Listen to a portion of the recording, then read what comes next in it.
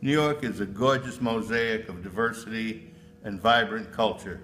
It's important that we treat each other with respect as we all live together and navigate this great city. Safe streets and safe kids are only possible when respect is practiced. So I'm delighted to join my friends, the Reverend Al Sharpton, Russell Simmons, Marc Morial, and Rabbi Marc Schneier in saying no to kale. Say no to the targeting of any ethnic or religious group or anyone else for this senseless violence.